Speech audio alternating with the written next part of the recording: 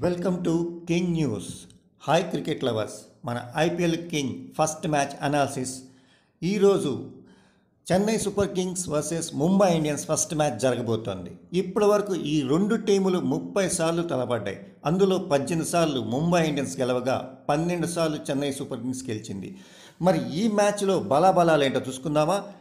Chennai super Kings బలం ధోని అంబట్ రాయుడు ఇమ్రాన్ తాహిర్ సేఫ్ Watson.